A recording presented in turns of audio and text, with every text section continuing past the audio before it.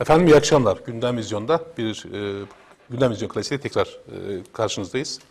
Uzun bir aradan sonra e, bir, yeni bir yayın döneminde e, birlikte. Bundan sonraki süreçte e, yine gündemde olan konular e, karşınızda olacak size değerli konuklarımızla, yorumcularımızla birlikte.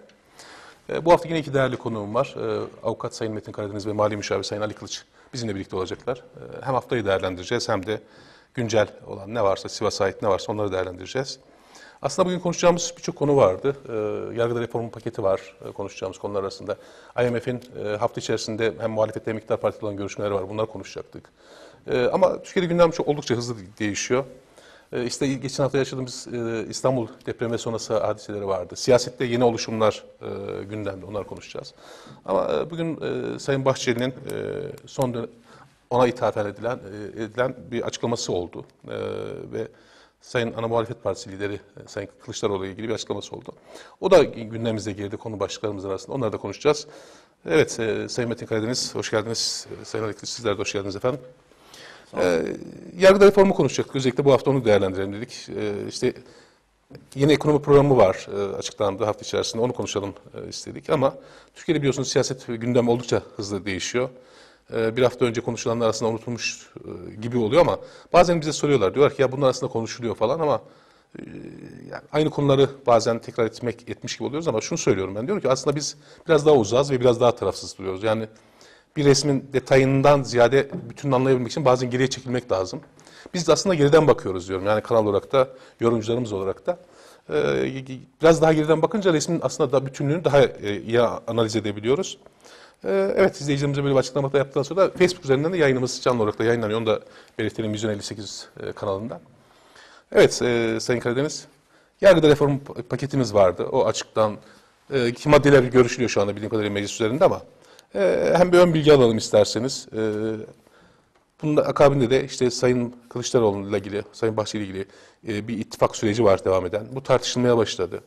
İstanbul Belediye seçimlerinin akabinde yaşanan bazı hadiseler var. Bunları da bugün konumuza, konularımız arasında konuşacağız ama isterseniz yargıda reform paketinden bekleyelim. Adalet e, hep konuşuluyor öncelikli ve hep eleştiriliyor aslında adalet mekanizması, adalet sistemi, yargı reformu beklenti içerisinde e, insanların böyle bir beklentisi var. Siz ne düşünüyorsunuz? Neler söylemek istersiniz bu konuda? Buyurun efendim. Bülent Bey, isterseniz e, bugün yargıyı, hukuku konuşacağız ama biraz geriye gitmek Evet. istiyorum. Çünkü bugün 4 Ekim. 4 Ekim'in ülkemizde, hukuk hayatımızda, aslında insan hayatında çok önemli bir yeri var. 4 Ekim 1926'da çıkan Medeni Yasa ile Türk toplumu tüm dünya uluslarındaki insanların e, dengine getirilmek için bir yasa yapılmış. Hayatın her alanını düzenleyen, evlenmeden, doğumdan, boşanmadan, mirasından, malından, borçlanmasından, kısaca gerek özel kişi, gerek tüzel kişi, doğumundan ölümüne kadar hayatın her alanını düzenleyen bir hukuk yaratmış ama medeni bir seviyeye ulaşılması düşüncesiyle bu yasayı yapmış. Biz e, yasayı o tarihlerde yasa yapacak seviyede değildik bilimsel olarak. İsviçre'den aldık bu nedenle. Ama tabii e, değişiklikler yaptık, eklemeler yaptık bir şey ama e, temel olarak oradan aldık. İsviçre'nin altını çizmek istiyorum. E, o tarihlerde Türk kadınına seçme ve seçilme hakkını verirken Atatürk, İsviçre'de yani medeni kanunu aldığımız dünyada e, demokrasinin beşiği sayılan İsviçre'de kadına oy kullanma hakkı 1973 yılında verildi ilk defa. 26'da getirilen, e, kabul edilen medeni kanun ile hayatımızda ne değişti? Onları kısaca bir hatırlatmak istiyorum. Ailede kadın erkek eşitliği sağlandı. Demek ki o zamana kadar ailede kadın erkek eşit değildi.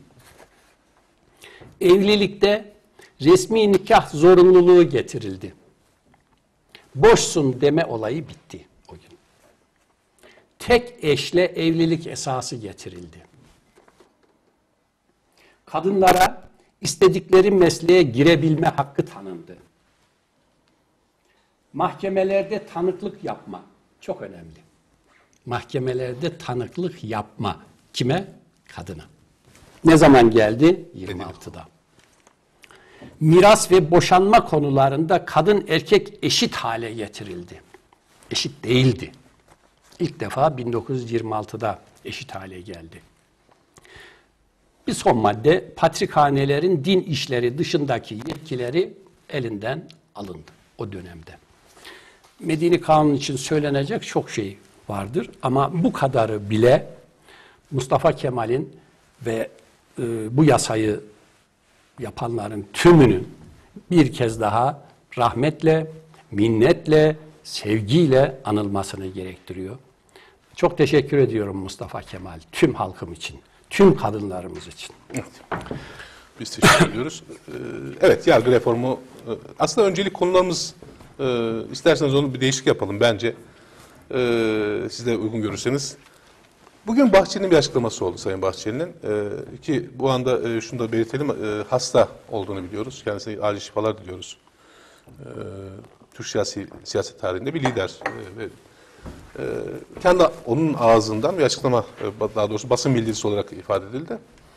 Ee, Sayın Kılıçdaroğlu'nun e, işte özellikle HDP, e, CHP yakınlaşmasına ithafen e, bir soruşturma e, komisyonu kurulanmalı, kurulacak ya da e, Milliyetçi, anladığım kadarıyla Milliyetçi Hareket Partisi içerisinde böyle bir oluşumun e, yap- yapılacağı. E, bununla ilgili bazı konuşmalar, e, bazı hadiseler ifade edildi. İşte özellikle Murat Parti'nin son döneminde yaşanan e, milletvekili e, komisyonları, tahkikat komisyonlarının benzer e, şekilde oluşuma e, yol açtığı ifade edildi. E, ne düşünüyorsunuz? İsterseniz buradan başlayalım bence e, konuya. Çünkü taze bir konu, canlı bir konu. Ne düşünüyorsunuz e, Sayın Karadeniz? E, şey oldu mu yani konu hakkında malumatınız oldu mu? Çok fazla malumatım olmadı. Ama bir şeyler e, kulağıma çalınmıştı. Şimdi sizin söylemenizle biraz daha bilgi sahibi oldum. E, Sayın Bahçeli'nin hasta olduğunu söylediniz. Evet. Bilgim yoktu. Şifa diliyorum kendisine. Allah şifalar versin. Akılda da şifa versin. Çünkü çok akıllıca, mantıklı, seviyeli, şu ana kadar getirdiği devlet adamlığı anlamında siyasi parti e, konumu, parti lideri konumu karşısında şu söylenen söz e, sağlıklı bir insanın söyleyeceği bir söz değil. Yani bunu e, yani Milliyetçi Hareket Partisi kanadından doğrulayanlar da oldu ama e, Sayın Bahçeli Eğer doğru ise diyor, ben de e, biz de bilemiyoruz duymadım. yani, tabii ki biz ben de- duymadım. Duymadığım için e, biraz şüpheyle yaklaşıyorum. Ama doğru ise ya içerik anlamında şüpheli yaklaşıyorsunuz değil mi? Yani, elbette Bahçeli- yani şimdi bir Bahçeli böyle bir şey der mi? Der Soru. mi? Şimdi bir başka şey, e, gerekçeyi de siz söylediniz. Yani niye bu yola gidiliyor? CHP HDP yakınlaşması dediniz değil mi? Evet, o ifadeyle. Ben kullanıldı. Cumhuriyet Halk Partisi'nin bir üyesiyim. Hem de etkin bir üyesiyim. Yani yönetimlerde falan değilim ama uzak yakın partimi takip ederim. Evet. Bugün Cumhuriyet Halk Partisi'nin HDP ile ilgili bir yakınlaşmasını duyup görmedim. Geriye gidelim. Yerel seçimlerden bir sene, bir buçuk sene daha geriye gidelim. Belirli bir nitelikli kanallarda, televizyon kanallarında sanki Cumhuriyet Halk Partisi HDP ile kol kola girmiş veya PKK ile kol kola girmiş, tam bir işbirliği içerisinde hareket ediyormuş gibi açık oturumlar yapılır, konuşmalar yapılır, hüküm verilir, idam edilir idi Cumhuriyet Halk Partisi. Ne zamana kadar? Yerel seçimlere kadar. Yerel seçimlerde halk iradesini ortaya koydu. Öyle midir, değil midir? Ortaya koydu. Şimdi yerel seçimlerde en büyük, e, en özellikli seçim hangisidir? İstanbul seçimidir. Var tabii ki. İstanbul seçimini biz Cumhuriyet Halk Partisi'nin tek başına oylarıyla mı kazandık? Hayır. Hayır. Çok ciddi destek veren Akşener'in oyları da vardı. Çok ciddi destek veren Kürt oylar da vardı. çok ciddi destek veren Milliyetçi Hareket Partisi'nin değil mi tabanından da. ondan da vardı. Fazilet Partisi'nden de vardı. Yani kısaca her siyasi yelpazeden biz oy alarak o farkı sağlamış olduk. Yani bu bir demokrasi Bunu başarısıdır. şey olarak yorumlamak mümkün mü? Yani özellikle e, hafta içerisinde, yanlış sanıyorum hafta içerisinde de e, eski bakanlardan Faruk Çelik'in bir açıklaması olmuştu. Yani yüzde 40'la Cumhurbaşkanı seçilebilmeli şeklinde bir açıklaması olmuştu. Hafta içinde tekrar etti bunu. Yani bu konuda direttiğini ifade etti. Bunun, bunun şu yorumlandı. Dediler işte AK Parti e, ciddi bir erime süreci içerisinde e, çoğunluğu kaybedeceğini gördüğü için böyle bir e, atraksiyona girişti. Yani böyle bir en azından ön kabul oluşturmaya e, çalışıyor ya da kamuoyu oluşturmaya çalışıyor. E, ve bu işte Cumhuriyet e, Millet İttifakı'nı oluşturan iki büyük başlık halinde işte İyi Parti ve CHP'nin e, oluştuğunu söylemek mümkün. Bunda bir çatlak oluşturabilir miyiz? E, bunda bir sızma yapılabilir mi? Şeklinde yorumlayanlar da olur. Ona katılır Şimdi mısınız? bütün- elbette katılırım. Yani bu normal. Siyasi partilerin kendilerini kurtarabilmek için, önlerindeki tehlikeyi ortadan kaldırabilmek için bazı atraksiyonlar yapmalarını hoş karşılarım. Yani kabul ederim hoş karşılamasam da. Ama bir de hayatın gerçeği var. Şimdi Sayın Akşener seçimde son derece inançla, yüreklice, kuvvetlice destek oldu. Eğer bu iddia doğru olsaydı, yerel seçimlerde, bu desteği verir miydi? Evet, MHP belirli bir kanat ama ondan ayrılan Akşener de bunu. Bugün Sayın Akşener ben Millet İttifakı'nı bitirdim arkadaş dedi mi? Demedi. Aksine, Demedi. Aksine bir açıklama yaptı aslında. Hayır demedi. Tam tersine a, e, bir şeyde koyuyor, rezervde koyuyor. Eğer CHP gider de HDP ile bir işbirliği içerisine girer, ben ittifak oluşturuyorum der, biz de bu işte yokuz deriz Dedi. diye son derece munis, son derece yumuşak, son derece akılcı bir e, cevap vererek o bence noktayı koydu. Ha şimdi Bahçeli bunu niye yaptı? Yani Şimdi AKP niye yapıyor? Bahçeli de ona paralel olarak götürüyor. Bahçeli'ye bu görev verildi belki. Peki şunu e, sormak istiyorum. Özellikle e, Sayın Kılıçdaroğlu'nun 2-3 gün önce ha, yine hafta içerisinde işte ittifak, Millet İttifakı'nı bozmaya çalışan istihbaratçılar var şeklinde bir açıklaması oldu. Bugün de işte Bolu'da bir açıklaması oldu. Yani e, Cumhuriyet Halk Partisi'nin milliyetçiliği, özellikle Atatürk milliyetçiliği üzerinden e, vurgusunu yaptı. Bunu şu şekilde yorumlayanlar da var ben e, takip ettiğimiz kadarıyla. Yani e, böyle bir sızma harekatının farkında Cumhuriyet Halk Partisi buna karşı bir e, tedbir ya da bir defans e, gösteriyor şeklinde bir açıklaması yorumlama yorumlayanlar oldu.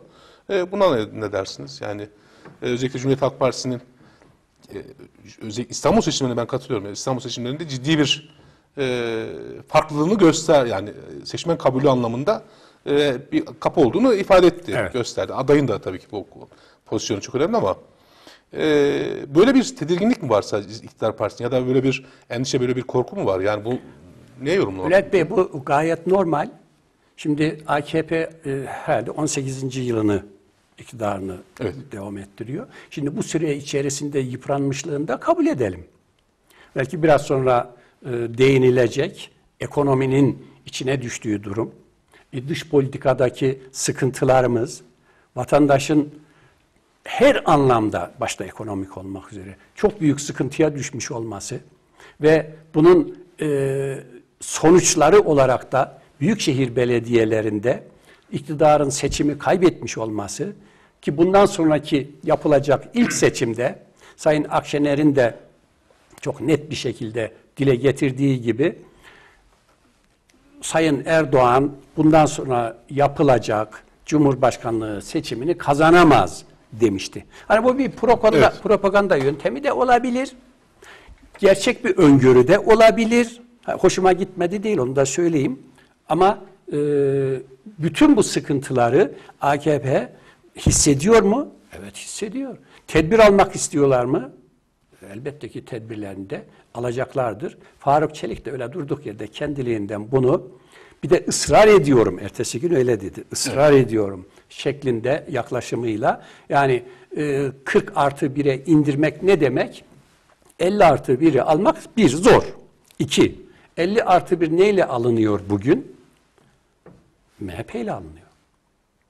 Şimdi MHP'yi taşımak belki Sayın Cumhurbaşkanı için kolay. Ama iktidar partisi için çok zor olduğunu biliyoruz.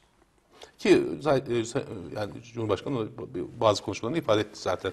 Böyle konsolide olamadık e, şeklinde Yani açıklaması olmuştu. bu, bu kolay değil. Öyleyse, öyleyse e, birine muhtaç olmadan olmadan seçim kazanılabilir mi? Tekrar Cumhurbaşkanlığı makamına oturabilir miyim? Bunun da yöntemi nedir? Barajı düşürmek. Yani anayasada ciddi bir değişiklik gerektirir. Ha bu maddeten mümkün müdür? Üçte iki ya da beşte üçleri çıkarmak, o mecliste o çoğunluğu sağlamak mümkün müdür? O da ayrı bir e, Konu- tartışma durumdur. konusudur. Tartışma konusudur. Evet. Denilebilir. Evet. E, Sayın Kılıç. Bazı e, özellikle e, adaletle ilgili ya- yargı reformu bahsedince bazı izleyicilerimizin sorusu olmuş. Onu e, ileride Sayın Karadeniz'e yönelteceğiz. İsterseniz yine bu konudan devam edelim. İşte Sayın Bahçeli'nin bir haftalık yaklaşık 25-26 Eylül'den bu yana hastanede olması, kamuoyunda açıklama yapmaması, vakıflarda bu soru işaretleri oluşmuştu. Bazı işte sosyal medyada bazı durumlar ifade edildi ama netice itibariyle sağlık durumunun işte iyi olduğu, e, önümüzdeki hafta içerisinde yeniden siyaset sahnesine döneceği ifade edildi. Ama bugün onun adına bir açıklama yapıldı. Siz de biliyorsunuz, e, takip ettiniz. E, neye bağlıyorsunuz bunu? Yani bu e, neden? Yani durup dururken böyle bir gündem. Çünkü o kadar çok gündem maddemiz vardı ki işte TÜİK konuları var, e, yeni ekonomi programımız vardı, İstanbul depremi vardı, İstanbul'da yaşanan, e, belediyesinde yaşanan bazı sorunlar vardı. E, yani çok konular vardı aslında konuşacak ama gündem e, neden bu kadar e, hızlı değiştiriliyor? E, bunu neye bağlamak lazım? Evet, e, Bülent Bey önce bizi izleyen seyircilerimize iyi akşamlar dileyerek başlamak istiyorum. Ben bugün medyada bu konuyu e, ciddi bir şekilde takip ettim. Sayın Bahçeli'ye buradan e, acil şifalar diliyorum. Allah hayırlı sağlıklar ihsan eylesin kendisine. Tabii ilk hastaneye kaldırıldığında sosyal medyada bu konuda spekülasyonlar çok oldu. Yani rahatsızlığının ciddi olduğu, efendim ciddi bir rahatsızlık geçirdiğini bu konuda hemen partiden gerekli açıklamalar yapıldı. Sağlık durumunun iyi olduğu ve hastaneden gerekli kontroller yapıldıktan sonra çıktığı ifade edildi. Hatta e, Genel Başkan Yardımcısı bu konuda bir de açıklama yaptı Sayın Semih Yalçın. Bugünkü e, açıklamayı, e, Kılıçdaroğlu hakkındaki açıklamayı da dinledim. Tabii buradan bir takım m, varyasyonlara gitmek mümkündür. Ciddi bir itham vardı, ciddi bir açıklama vardı. Ben bunu iki e, konuya bağlıyorum. Birincisi, Sayın Bahçeli'nin sağlık durumunun üzerinde yapılan spekülasyonları geri çekmek için böyle bir açıklama, ciddi bir açıklama gündeme Şiddetli bir getirildi. açıklama değil mi? Evet, şiddetli bir açıklama. Ee, hemen şunu da söyleyeyim. Sayın Bahçeli'nin bilgisi olmadan o açıklama yapılamaz. Onu söyleyeyim. Yani Sayın Bahçeli'nin bilgisi olmadan o partide e, onun adına kimse açıklama yapamaz. Ben e, kendisini tanırım, bilirim. Etrafındaki insanları da biraz yakından tanıyorum, biliyorum. E, Mümkün değildir. O açıklamayı bir başkasının e, yazması, onun bilgisi olmadan açıklaması o mümkün değil, olmayacak bir iştir. Tabii birinci şık bu. İkincisi ciddi bir şekilde e, Millet İttifakı'nı bölmek için bir çaba var, bir gayret var. Bunu bu sabah Sayın Mer- Meral Akşener'i dinlediğimde de o da izah etti. Daha önce Cumhuriyet Halk Partisi Genel Başkanı da açıkladı. Parti yetkilileri de açıkladılar. Yani MİT'in bile bu işin içerisinde olduğunu söylediler. Evet. Tabii buradaki itham nedir? Özellikle İyi Parti tabanını biraz böyle ayağa kaldırmak. Bakın sizin destek verdiğiniz siyasi parti HDP ile, HDP ile kol kol olan partiyle işbirliği yapıyor. Nitekim bu sabah Sayın Akşener'i dinlediğimizde bu ittifakın nasıl geliştiğini, nasıl oluştuğunu, kimleri nasıl görevli, görevlendirdiklerini tek tek tek tek izah etti. Ben baştan sona da kendi ağzından bizzat dinledim. Yani bu ittifakın bitmiş olabileceğini, bittiğini falan da söylemedi. Sadece e, bu açıklamayı Kılıçdaroğlu nereden aldı bu bilgileri ben bilmiyorum dedi. Yani MİT ve devlet yetkililerinin bu ittifakı bozmak için çaba sarf etmelerine atfen Sayın Kılıçdaroğlu'nun bu bilgileri nereden aldığını bilmediğini orada işaretti. Arkasından e, İyi Parti'nin HDP ile yakınlaşmadığını izahını yaptı. Tarih vererek çıktığı televizyon programının yorumcusuna dedi, yorum e, programcısına dedi ki sizin kanalınızda ben şu tarihte şunu söyledim. Göreceksiniz. Bu İstanbul seçiminden önceydi bu.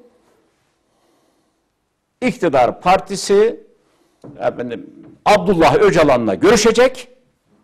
Onunla ittifak yapacaklar dedim. Dedi. Nitekim yaşadık.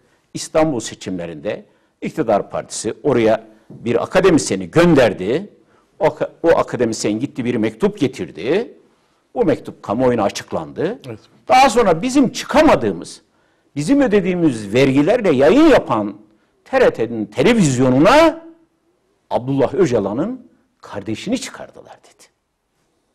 Bu yakınlaşmayı ben daha önce size söyledim mi? Söyledim dedi. Şimdi sıkıntı şuradan kaynaklanıyor. Tabii Faruk Çelik e, bu geçtiğimiz günlerde açıkladı. 40 artı 1'e gitmelidir. Bugün Sayın Cumhurbaşkanı kamp toplantısına girerken yaptığı açıklamada bizim gündemimizde böyle bir şey yoktur dedi. Şimdi aynı şeyi burada da söylüyorum. Yani Faruk Çelik Ama özür dilerim. Cumhurbaşkanı orada bunun konuşulacağı meclistir diye bir açık kapı bıraktı galiba. Açıklayacağım orayı. Şimdi Faruk Çelik'in Cumhurbaşkanının bilgisi olmadan böyle bir konuyu gündeme getirmesi bana göre mümkün değil. Söyletiliyor, söylüyor ama tabii Cumhurbaşkanı evet gündemimizde der mi? Siz de Cumhurbaşkanı olsanız demez, Metin Bey de olsa demez, ben de demem. Ama diyor parlamento muhalefet bunu gündeme getirirse biz de bu konuyu Konuşuruz. görüşürüz diyor, tartışırız diyor yani. Şimdi sıkıntı İstanbul'da nedir? şey. Tabii, tabii. Sıkıntı nedir? Sıkıntı şu. Olay gittikçe görülüyor ki Cumhur İttifakı'nda bir oy azalması var. Şimdi düşünebiliyor musunuz? İstanbul seçiminde İstanbul seçiminde iptal ettirdikleri seçimde 10 küsür bin olan fark yeniden yenilenince 810 bine çıktı bu fark. Şimdi bu 810 bin oy nereden geldi? 810 bin oy HDP'den de geldi. AK Parti'den de geldi. MHP'den de geldi. Yani Millet Millet İttifakı'nı e, destekleyen siyasi partilerin dışından diyorum. Kesin yani. Çünkü bir takım artışların nedenleri çok bariz olarak görülüyor orada. Daha önce iddia edilen bir konu vardı. Yani ilçe belediye başkanlığında bir başka partiye veriyor. Büyükşehir belediyesinde bir başka partiye veriyor. Şimdi Sayın Akşener diyor ki ben e, 31 Mart seçimlerinden önce seçmenden şunu istedim. Bu iktidarın kulağını çekin dedim. Evet diyor 31 Mart'ta kulağını çektiler diyor böyle. Ama 24 Haziran'da diyor bu kulağın ucunu kopardılar diyor. Vardılar evet. 810 bin fark azımsanacak bir fark değil. Sayın Cumhurbaşkanı'nın kendi ifadesi var. Ne demişti? Hatırlayalım hepimiz. İstanbul'u kaybeden Türkiye'yi kaybetmiştir. Çünkü İstanbul Türkiye'nin bir mozaiği, bir birleşeni. Orada her ilden, her bölgeden insan var. Çünkü aşağı yukarı 12 e, yıldır, 13 yıldır onlar idare ediyorlardı. Bütün imkanları, devletin imkanları kullanılmasına rağmen seçim yeniden alındı. Elbette şimdi bu ittifak böyle güçlenerek gidince önümüzde yapılacak seçimlere yansıması olacaktır. Ama daha zaman olmasına rağmen benim tek çözemediğim bir nokta var. Aşağı yukarı 4 yıl var. 4 yıl önceden bunun gündeme getirilmesi bir takım eee, soyut olmayan tartışmaları da gündeme getirdi. Yani niye getirdiler birdenbire durup dururken? Buradaki amaç şudur. benim gördüğüm kadarıyla ülkenin ekonomik sıkıntısı had safhada. Ben bunu sosyal medyada da yazdım. Halen de yazdığımın arkasındayım. Ve orada şu ifadeyi kullandım. İnşallah ben yanılırım dedim. Bu yazdıklarımdan inşallah ben yanılırım dedim. Çünkü ekonomi gerçekten e, durumu iyi değil. Oldukça sıkıntı var. Tabii ne oluyor burada? Toplumu bu cenahtan, bu sahadan çekerek başka yere e, angaje ediyorlar. Toplum seçimle uğraşsın. Yok seçim olmaz. Cumhurbaşkanlığı seçimi de olmaz ama böyle bir tartışma gündeme geliyor. Bu tartışma gündeme gelince asıl konu tartışılmıyor. Şimdi yargı reformu. Reform adı. Efendim e, yeni ekonomik program. Yeni ekonomik program değil. Dokuzuncu bu yanlış hatırlamıyorsam. Bu program dokuzuncu program. Bundan önce açıkladıkları neydi? Efendim orta vadeli programdı. Şimdi yeni ekonomik program. İsim değiştirilip değiştirilip gündeme getiriliyor yani sunuluyor. Biraz sonra konuları açıklarken de izah etmeye çalışacağım. Yani ekonomideki sıkıntının had safhada olması gündemi oraya götürüyorlar. Kim götürüyor? Özellikle iktidar götürüyor. Hem de nasıl götürüyor? Diyor ki milliyetçi, mukaddesatçı olan bir siyasi partinin sosyal demokrat bir partiyle işbirliği yapmasının çatırdamasını sağlayabilmek için terörle arasına mesafe koymayan e, HDP'yi e, örnek gösteriyor. Diyor ki bak sen de onunla berabersin. Peki çok özür dilerim. Bu yani kamuoyunda karşılık buluyor mu ya da bulacak mı? Çünkü bu açıklamaları biz 31 Mart seçimlerinden önce de çok dinledik. Güzel bir soru tabii. Ankara e, be- e, koridor belediyesinin koridorlarında PKK yandaşları Şimdi bakın- dolanacak denildi. şimdi bakın- İstanbul'da işte bilmem PKK'lılar e, doldurulacak falan denildi ama e, hem kamuoyunda karşılık bulmadı Bülent hem de Bey- gerçek bu şekilde oluşmadı. Bülent Bey medya çok önemli bu işlerde biliyorsunuz. O kadar önemli ki alın elinize kumandayı, televizyon haberlerini izleyiniz. Gidin gazete bayinden gazeteleri alınız. Yüzde sekseni değil doksanı bu minvalde yayın yapıyor. Ama halk e, Şimdi- sindiremiyor herhalde bunu ya da Ama işte dur bakalım o ne zaman tesir edecek? En basit örnek size söyleyeyim tabii. Ben o yapılanı da tasvip etmedim. Cumhur e, şeyin İstanbul Büyükşehir Belediye Başkanı'nın Fransa'ya bir ziyareti var. Evet. Ayyuka çıkardılar. Ekrem İmamoğlu'nun Yılmaz Güney'in e, me- mezarıyla Ahmet Kaya'nın mezarını ziyaret etmesini. Ha ben tasvip etmedim. O ayrı bir konu. Ama o medya hemen onu ön plana çıkardı. Niye çıkardı? Ona destek veren, ona oy veren insanlara bakın sizin oy verdiğiniz insanı görüyor musunuz? Şeklinde Ama Sayın yazılar yazarak. da e, özellikle Ahmet Kaya ile ilgili açıklamaları var. Tamam. Ama medyaya bir bakınız. Sosyal medyaya bir bakınız. Yer yerinden oynuyor bu konuda yapılan yayınlar. Evet, evet takip ediyorum. Ha, yani onu söylemek istiyorum. Şimdi tabii bizim vatandaşımız ekonomiyi de unutuyor, ekmeğin fiyatını da unutuyor, evin kirasını da unutuyor, sağlık giderini de unutuyor.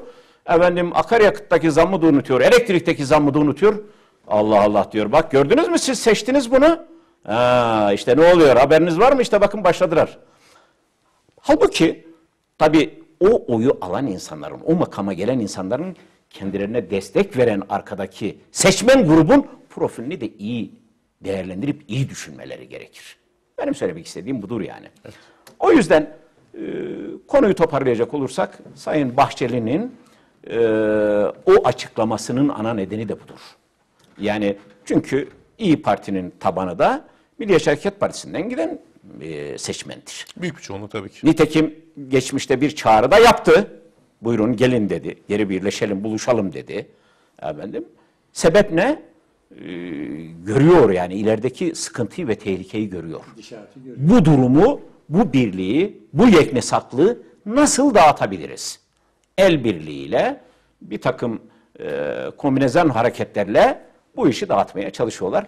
Bugünkü e, demeçte odur. Yani Kemal Kılıçdaroğlu'na kalkacaksınız, komisyon kuracaksınız. Kemal Kılıçdaroğlu'nun dokunulmazlığını kaldıracaksınız. Kemal Kılıçdaroğlu'nu işte yargılayacaksınız. Neyle? Tamam varsa taşıyın meclise getirin. Kemal Kılıçdaroğlu'nun bir e, veremi, verilecek hesabı varsa versin.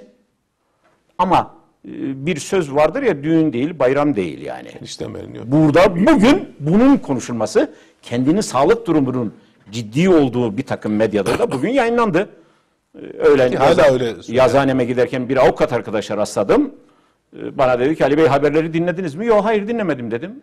Dedi ki ya e, Devlet Bey'in e, sağlık programı çok ciddiymiş. Şimdi bir gazetecinin yorumunu dinledim geliyorum dedi. Ben tabii internete girdim biraz baktım. Ciddi de bir şey yoktu. Ee, Efendim.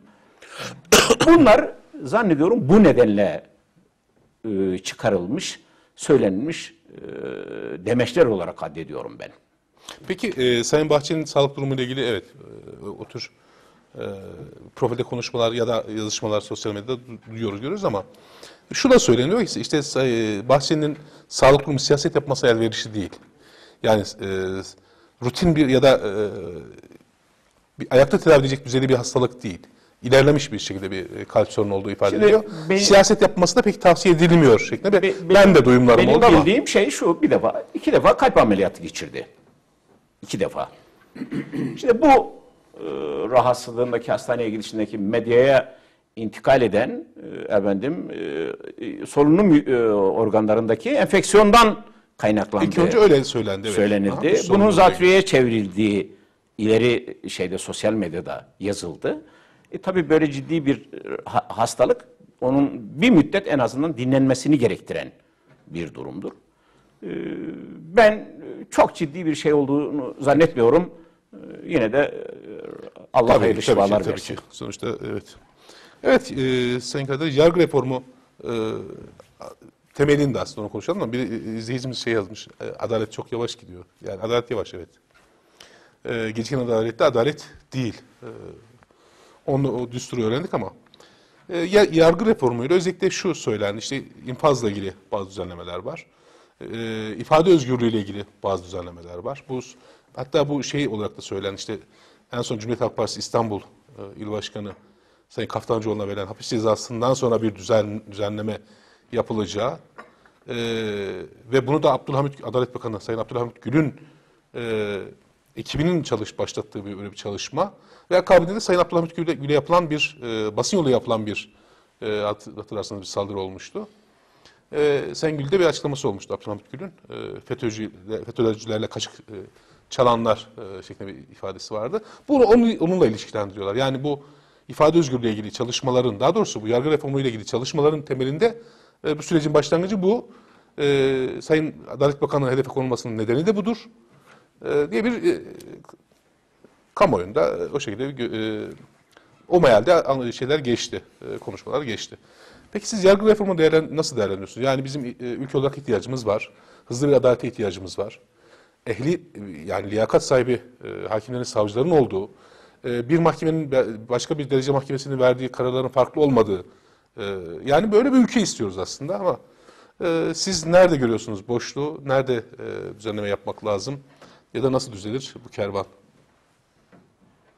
Elimde bir sihirli anahtar ancak onunla düzelir.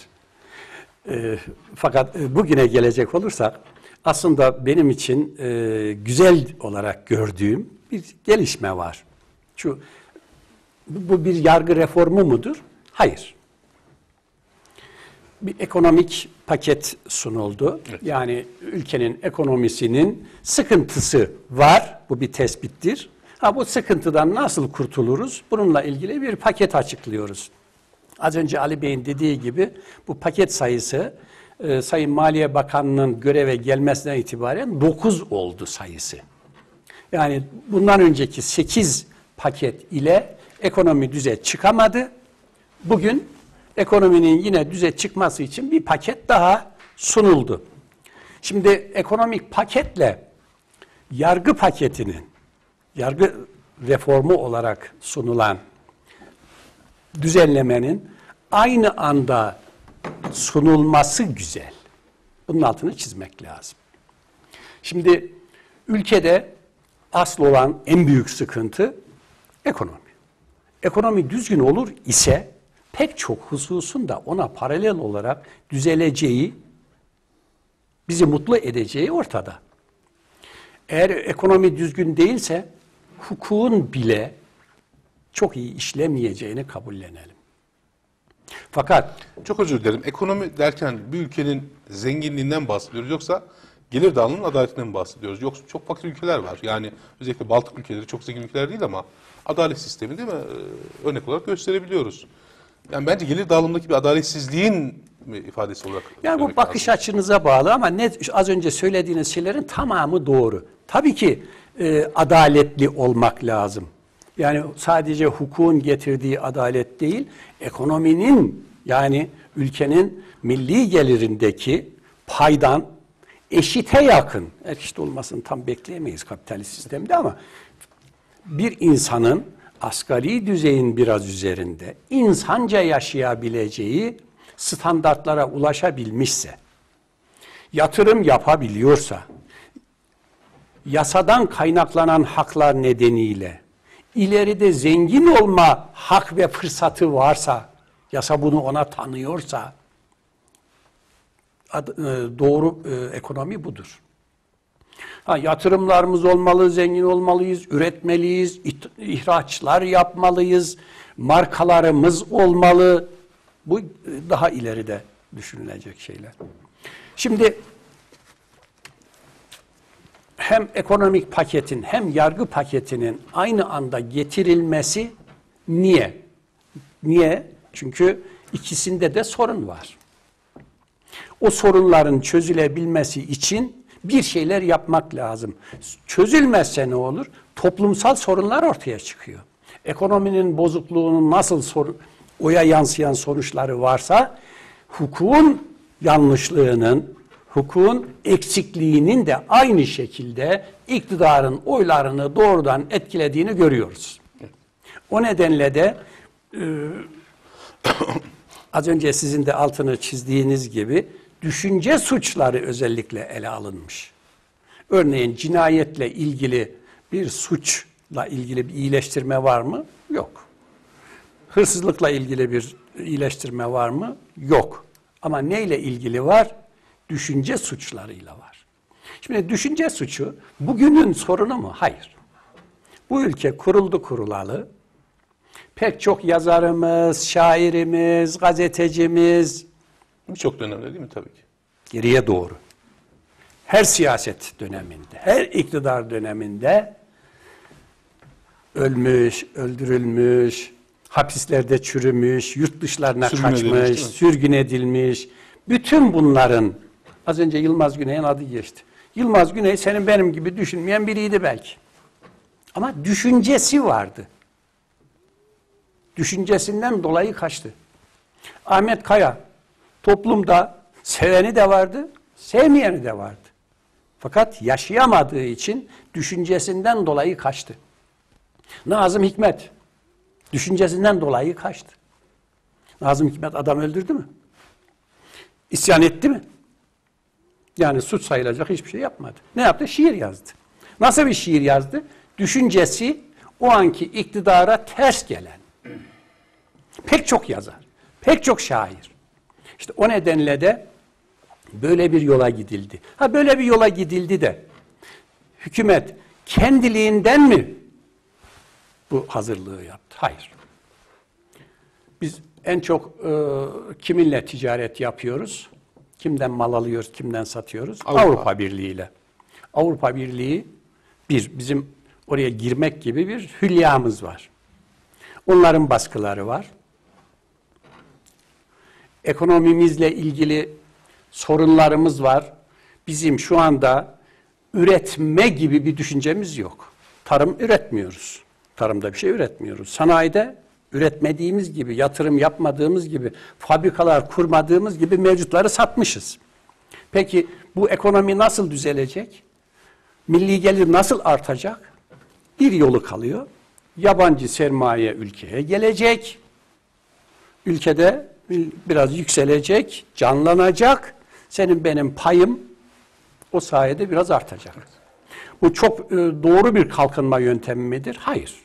Üretmiyorsanız, markalarınız yoksa siz kalkınacaksınız diyemeyiz. Ama bugün acilen yurt dışından bize sermaye gelecek. E şimdi siz yurt dışında sermayedarsınız. Ülkeye gelir misiniz? Gelmezsiniz. Neden? Hukuki geleceğinizi göremiyorsunuz. Önünüzü göremiyorsunuz. Mallarınızın, sermayenizin istikbalini göremiyorsunuz. Ha, o zaman bir kere hukuki güvenceleri vermek lazım.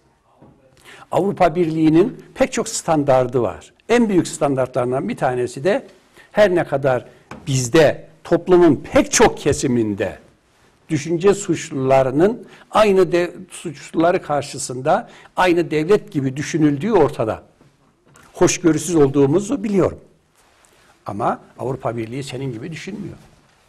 Eğer benden sana para gelecekse önce şu düşünce suçlarıyla ilgili ilgili durumu bir düzelt arkadaş. Şimdi İstanbul İl Başkanı'nın durumu ortada. Ne yapmış İstanbul İl Başkanı? Adam öldürmüş mü? Hayır. Hırsızlık yapmış mı? Hayır. Devlete isyan etmiş mi? Hayır. Bir terör örgütüne girip de girip de örgütle ilgili suç işleyen yasaların e, yasak saydığı, suç saydığı bir eylemde bulunmuş mu? Hayır. Ne yapmış? Tweet atmış. Nasıl tweetler atmış? Belki senin benim hoşuma gitmeyecek tweetler atmış. Tweetler atmış. Ne zaman? 7 sene önce. Bugün 8 yıl 9 ay mahkumiyet. Ha diyebilirsin ki canım o tweet'i e, atarsan cezalandırılırsın. Ama yargı paketinde bir madde var. Diyor ki artık haber vermeyi e, ve Ağır eleştiri diye bir e, şey getirmiş, sınıflandırma getirmiş. ve, ve e, eleştiri ise bu artık suç olmaktan çıkmıştır. Ki bugün e, Anayasa Mahkemesi'nin bir kararından da bahsedildi. Dün itibariyle çıkmıştı ama sanırım bugün yayınlanacak. E, Sırrı Süreyya evet, e, serbest bırakıldı. Edildi mi? Edildi, evet. Yani şimdi Sırrı Süreyya ne yapmıştı? Düşünce ileri sürmüştü. Düşünce. Sırrı Süreyya'nın mesleği nedir? Görevi nedir? Parlamenter. Parlamentonun kürsüsüne siz çıkar da fikirlerinizi söylerseniz ki o fikirler benim hoşuma gitmeyebilir. Hiç katılmadığım fikirler olabilir. Yanlış fikirler olabilir. Ama bir partisi var. Yandaşı olmadığımız bir partisi var. Hiçbir zaman oy vermeyeceğimiz bir partisi var. O partinin görüşlerini kürsüden dile getirir ise bu adama 3 sene bilmem 6 ay ceza vermemek lazım. Ne yapmak lazım? Buna verilecek en büyük ceza nedir biliyor musun? Bir daha seçmemektir. Ona prim vermemektir. Ama sen böyle düşündün at içeri. Sen böyle dedin at içeri.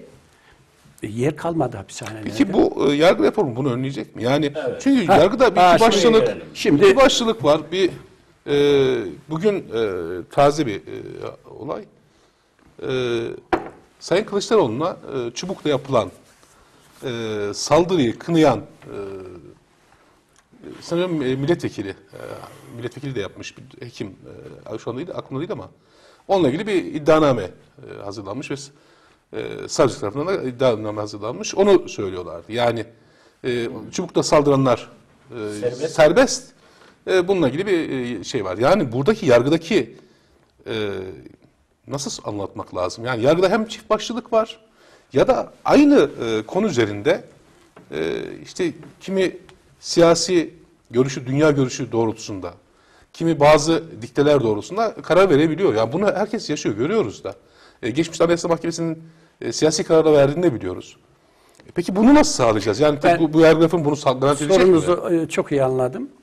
Şimdi şu yargı reformu çare olur mu? Yani. E, Buraya gelmeden önce şu bir e, değerlendirme yapalım mevcut durumu, sistemimizi. Bugün dünyada iki tane rejim vardır. Monarşileri geç, demokraside. Bir parlamenter rejim, bir de başkanlık sistemi. Evet.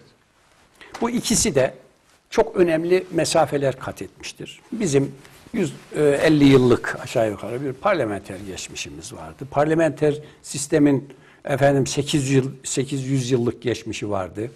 Başkanlık sisteminin ki en iyisi Amerika'da işlenir biliyorsun. 250 yıllık bir geçmişi var. Yani bu her iki sistem de bir demokratik sistemdir.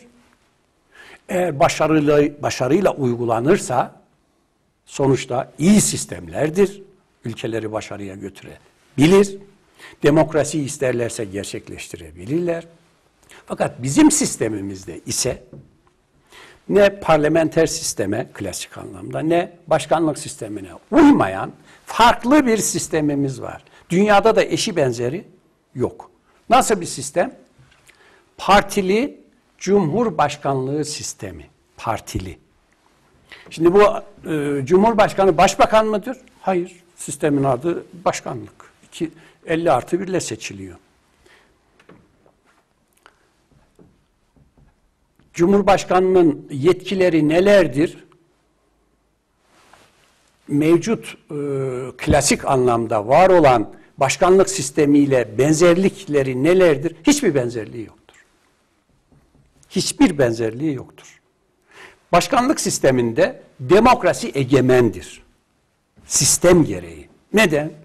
Üç büyük erki, yasama, yürütme, yargı birbirinden bağımsız olduğu için birbirlerini de aynı zamanda denetlerler. Birbirlerini denetlerler. Bugün e, Trump dünyanın en güçlü insanı mı?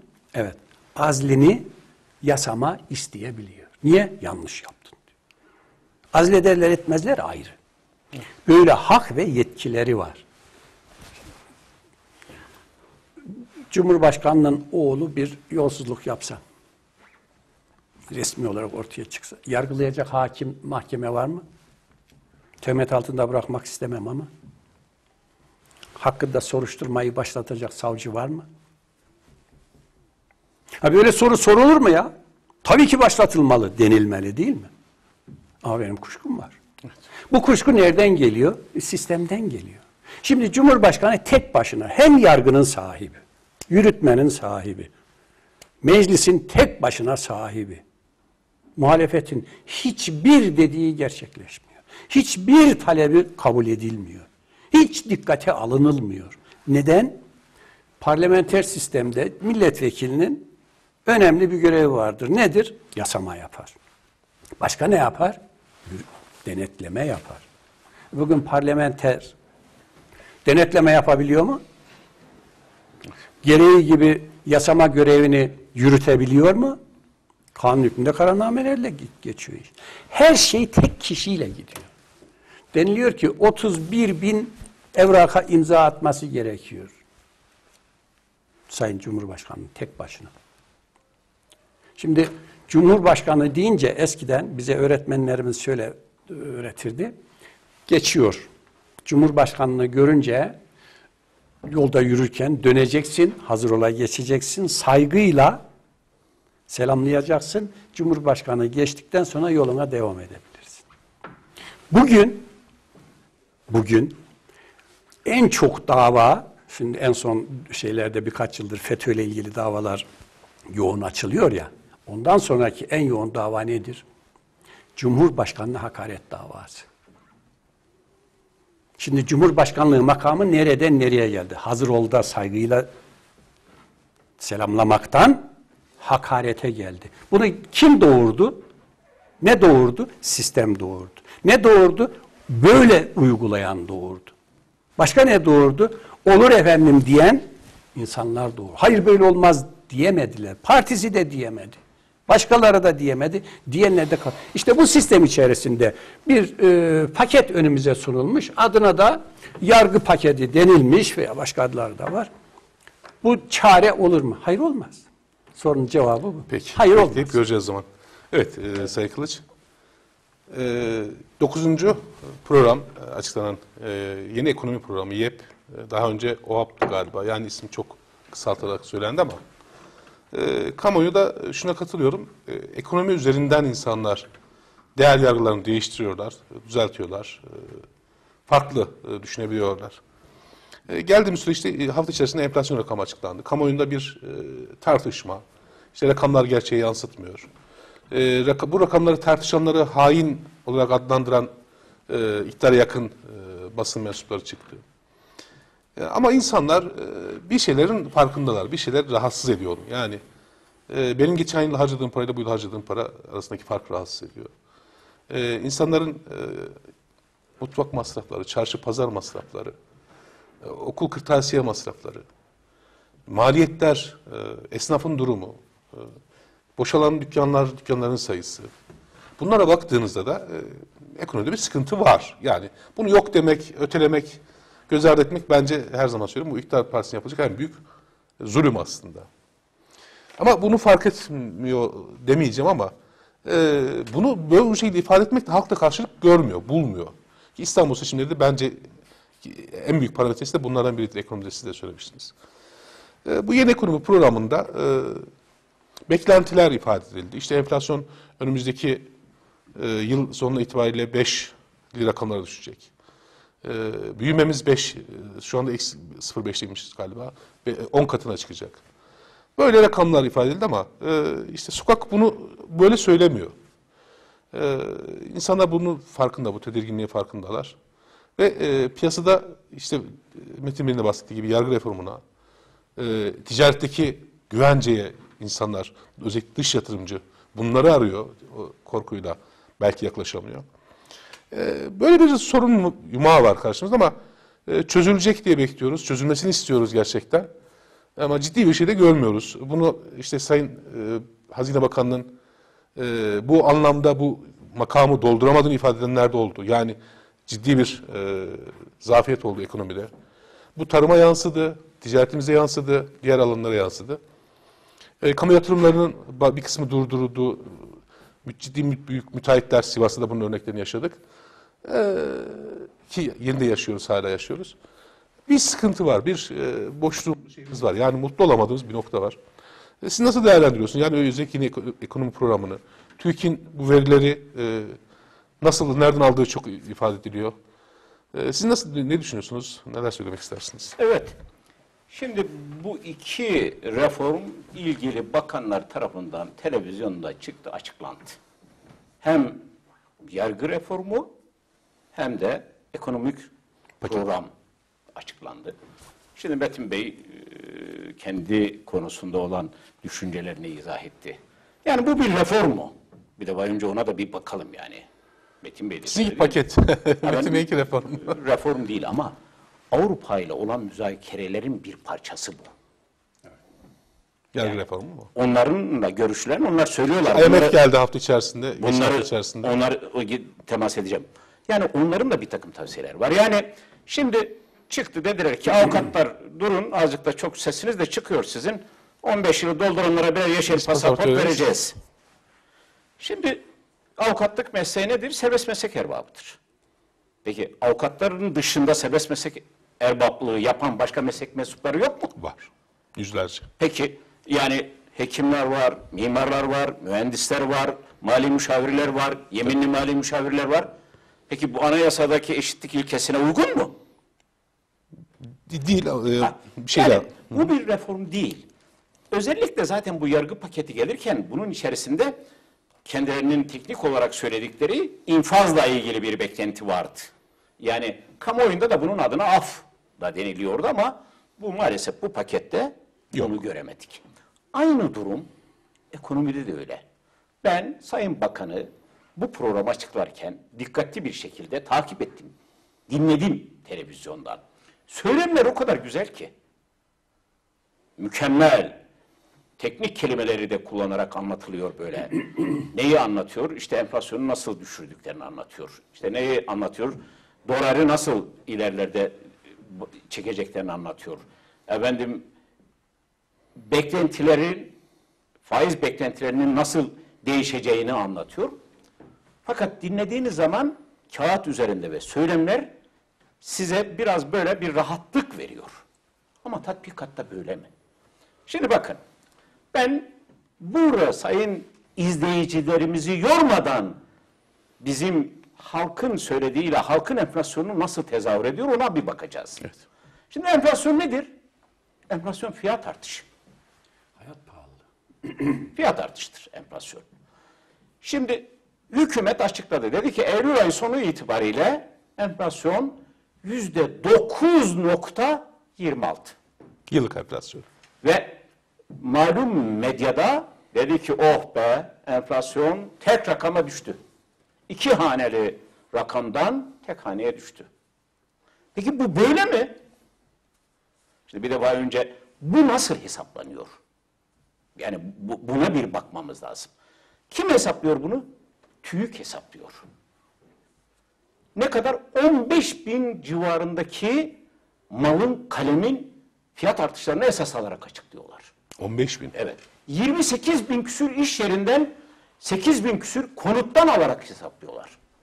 Şimdi tabii örnek vereyim pimpon topu bile var bu şeyin çok konuşuldu, değil mi? hesaplanmasında. Bu çok da konuşulduğu için burada söylüyorum. Bu rakamlara göre enflasyon böyle çıkıyor mu? Çıkıyor.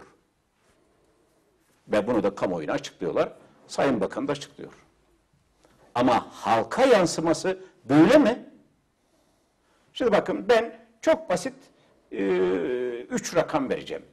2018 yılında en düşük emekli memur maaşı 1977 lira. Bülent Bey. Emekli memur maaşı. Emekli memur maaşı dikkat edin. Yine aynı yıl yani 2018 yılında en düşük sosyal güvenlik kurumundan emekli olan insanın maaşı 1569 lira. En düşük yine 2018 yılında Bağkur Bağkur'dan emekli olanların maaşı 1405 lira. Şimdi bunu niye veriyorum? Emekliler üzerinden bir hesap yapabilmek için veriyorum. Peki 2019'da ne oldu bu rakam? Şimdi bakıyoruz. En düşük emekli maaşı 2360 lira. Memur emeklisi değil mi? Memur emeklisine. Sosyal güvenlik 7. ay itibariyle ama. Efendim? Yedinci Tabii ay. tabii tabii. Yani ikinci dilimi de aldık burada.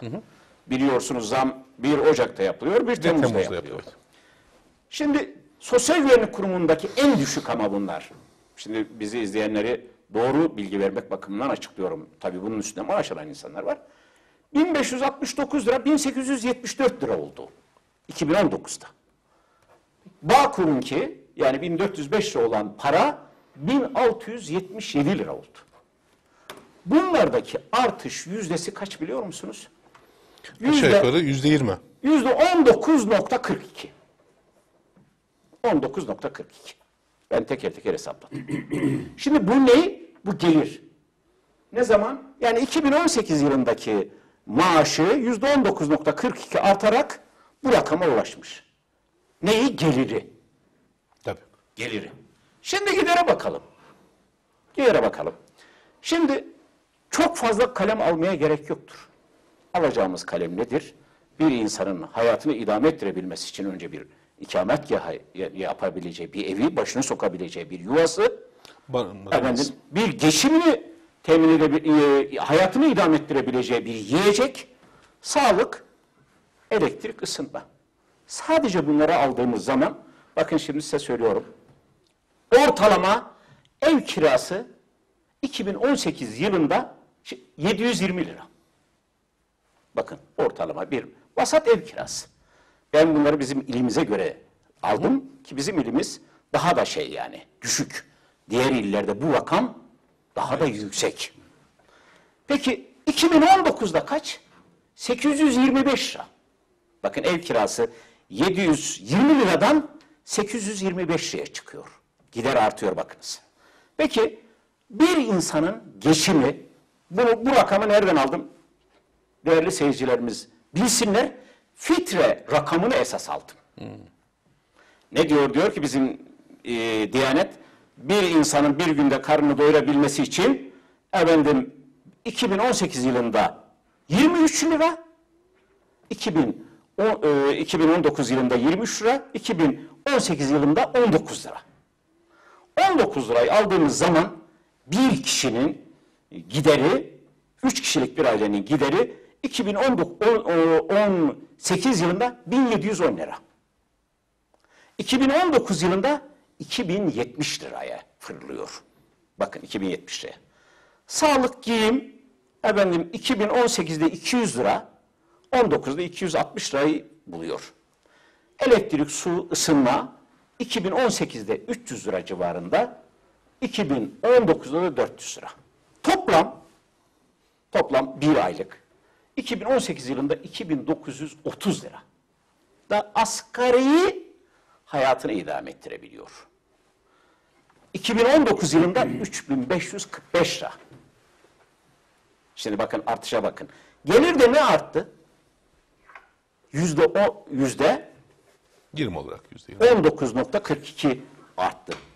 Giderdeki artış nedir biliyor musun? 31.86. İşte enflasyon bu. Halkın enflasyonu dediğimiz şey budur. Çünkü niye? bir yığın zam alan diğer maddeleri de katmadık. Şekere zam var, çaya zam var, elektriğe zam var, akaryakıda zam var, doğalgaza zam var, var oğlu var. Onların oranları daha da yüksek. Onların oranları da daha yüksek. Şimdi öyleyse açıklanan enflasyonun 9.26 ile 31.86 fiyat artışı işte ortada. Bu hesap. Ekonominin kendine has kuralları var. Siz ne söylerseniz söyleyin. Neyi anlatmaya çalışırsanız çalışın, tezahür eden gider, harcanan rakamlar ortadadır. Evet. Bunlar ortada. Şimdi hükümet açıklarken biraz önce sordunuz IMF ile görüşmeler var diye. Şimdi muhalefet partileri görüştüklerini açıkladılar. Görüştük dedi. Yani Cumhuriyet Halk Partisi'nin yetkilisi de görüştük dedi. İYİ Parti'nin İYİ yetkilisi de. Parti'nin yetkilisi, de görüştük dedi. Ama takriben 20 küsür gündür de IMF Türkiye'de Türkiye'de. evet. Türkiye'de. Şimdi açıklanan ekonomik programa bakıyorsunuz IMF'nin söylemleriyle bağdaşıyor. Nedir? Bakın size örnek vereyim. Dolar önemli olan. Şimdi dolar. Dolar şu anda 2019 yılını 5.70 ile kapatacak diyor. Sayın Bakan da açıklıyor. 5.70 olacak diyor dolar. IMF de bu rakamda bakıyor. 2020'de 6 lira civarında olacak diyor. Aynısını Sayın Bakan da açıklıyor. 2021'de 6.40 diyor. Dolardaki artışı 2022'de 6.74 diyor. Evet. IMF ile hükümetin açıkladığı e, rakamlar birbiriyle örtüşür bir durum arz ediyor. Hal böyle olunca işsizlikte de durum aynı şekilde, efendim e, dolar bazındaki artışlar da aynı şekilde. Durum bu halde gidince bu enflasyonun aşağı ineceğini söylemelerine rağmen söylem öyle ama rakamlar enflasyonun ineceğini göstermiyor. Nasıl inecek? Evet. Ben buradan sayın seyircilerimizle şunu söylemek istiyorum. Yani Amerika'yı yeniden de keşfetmeyeceğiz. Türkiye enflasyonu aşağıya çekebilmesi için mutlak surette üretime Evet. girmelidir. Yani bu üretim beton üretimi olmamalıdır. Özellikle tarımda üretime girmelidir. Nitekim açıkladıkları programda var. Seracılığı teşvik edeceğiz diyor. Sulamayı teşvik edeceğiz diyor. Yeni yeni geliyor ama tabi bunlar biraz da bu e, tabi afetlerin vurgunundan sonra da biraz gündeme geldi. Olay burada da tezahür ediyor. Ama asıl önemli olan tasarruf, tasarruf, tasarruf. Hem devlet tasarrufa yönelecektir hem de devletle beraber o ülkede yaşayan insanlar tasarrufa yönelecektir. Çalınmayacak, çaldırılmayacaktır. Olay budur. Senin benim ödediğim vergiye sahip çıkılacaktır. Yani e, kalkacaksınız, veri, e, para yoktur. O nedenle biz elimizdeki bir fabrikayı bir başkasına satıyoruz diyeceksiniz. Ama öbür taraftan 80 milyon lira verilerek 4 tane araç alınacak. Evet o konuda İşte buna halk ne diyor? Bu ne perhiz? Bu ne lahana turşusu. Evet, O e- yüzden tasarrufa gidilmeli, o yüzden üretime gidilmeli, o yüzden hayvancılık mutlak surette geliştirilmelidir. Evet. Yani enflasyonun önlenme yolu, yordamı budur. Öyle teknik bir yıl ilmi kariyere haiz açıklamalar Rakamlarla yapınız, değil mi? Yapın. Yani e, şeyi bellidir, çözümü bellidir. Bunu yapmaktan başka hiçbir çaremiz yok. Evet, e, Sayın Kılıç e, teşekkür ediyorum. E, sevgili izleyiciler kısa bir aramız, aramız var. E, kısa bir aradan sonra tekrar birlikte olacağız.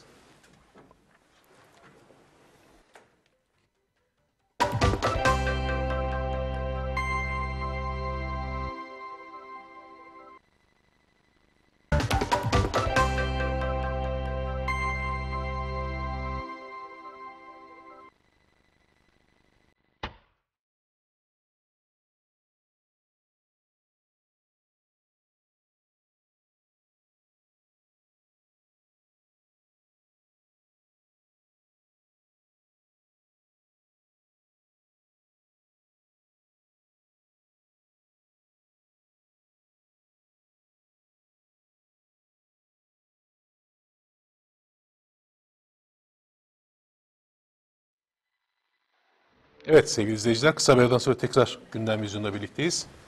e, yorumcularımız Sayın e, Avukat Metin Karadeniz ve e, Sayın Ali Kılıç Mali Müşavir bizimle birlikte programın ilk kısmında hem e, yargı reformuna kısaca değindik ama detayını biraz daha konuşacağız Metin Bey'le. E, özellikle yeni ekonomi programı, e, siyasetteki e, dalgalanma bunu konuştuk. E, Ali Bey devam ediyordu. E, özellikle enflasyonla ilgili sokağa cebe yansıması, mutfağa yansımasıyla konuşuyorduk. Evet isterseniz Ali Bey kaldığımız yerden ee, insanlar geçen yılki işte gelirden bahsettik. Gelir dağılımımız e, geçen yılla bu yılki gelir e, bir hane halkının geliriyle bu yılki masraflar arasındaki farkın %31 seviyesinde olduğunu ama enflasyonda %9.26 yıllık enflasyonun olduğunu açıklamıştınız. Ki bu zaten bilinen e, durum. Şimdi Neler söylemek lazım? Sayın Bakan'ın e, açıklamasında tabii TÜİK'ten aldığı rakamı söylüyor. Şimdi TÜİK'ün nasıl hesaplandığında söyledim çok çeşitli e, kalemlerden artışları alarak bir hesaplama yapıyorlar. Ama asıl ana giderler burada enflasyonu yüksek tutan rakamlar diğer alınan rakamlardan dolayı enflasyon rakamını düşük çıkarıyor. Çünkü diyelim ki bin kalemi esas alıyorsanız bin kalemde halkın zaruri ihtiyacı olan sürekli kullandığı giderler 10 kalemse 10 kalemdeki zam yüzde 30 yüzde 40 sa diğerlerinde hiç yoksa yüzde birse bile Ortalamaya etkiliyor. Böldüğünüz zaman ortalamayı aşağıya çekiyor. Bizim e, önümüze konulan enflasyon rakamının düşük olmasının nedeni bu. Yani zaman zaman e, vatandaşın rakamlarla oynuyorlar dedikleri rakamla oynama değil hesaplamanın bu şekilde yapılmasından kaynaklanıyor. Ha, bana göre enflasyon hesaplanırken ana temel maddeler tespit edilmeli. Nedir? Yiyecek maddesi, efendim e, barınma, elektrik, ısınma, sağlık giderleri, eğitim. Temel. Temel bunlar esas alınmalı. Bunlara göre bir hesaplama yapılırsa daha gerçekçi bir rakam, daha gerçekçi bir enflasyon ortaya çıkar. Şimdi Sayın Bakan'ın açıklamasından ben dinledim. Bu yılı enflasyonlu e, yüzde 12.9'la kapatacağız diyor. Beklentileri bu. Çünkü geçen sene Kasım ve Aralık'ta eksi çıkmıştı. Ee, bu ay e, her çıkacak artı rakam bunun üzerine ilave edilecek. ilave edilecektir. Şimdi 12.9 tabi tek haneye nerede düştü? Aylık enflasyonla düştü ama yıllık enflasyonda yine çift haneli rakam bekliyor iktidar. 2020'de beklenen ki şey 11.8. Burada biraz daha dikkatli gidiyor iktidar. Yani e, bu rakamlara göre biraz gerçekçi e, gösteriyor enflasyonu. 2021'de 10.6 beklenen enflasyon 2022'de tek haneye düşürecekler. 9.8. Evet. Tabii biz de insan olarak bu ülkede yaşayan fertler olarak böyle bir tezahür etmesi öpüp başımıza konulacak rakamlar. Çok da güzel yani. Ama biraz önce söyledim. Hiç de öyle değil. Şimdi e, Sivas'ta Ekim ayı geldi. Bu ayın sonuna doğru şeyleri yakmaya başlayacağız. Doğal gazları kullanmaya başlayacağız. Ki Efendim, faturalar- faturalar önümüze gelecek. Nitekim elektrikler gelmeye başladı yavaş yavaş. Efendim, o doğalgaz faturaları geldiği zaman e, hani sacın üzerinde insanları gavurga yaparlar ya sıçrar böyle o buğday patlarken. O faturaları gördüğü zaman bizim insanlarımızın sıçrayacağı kanaatindeyim ben. Çünkü rakamlar oldukça fazla gelecektir yani.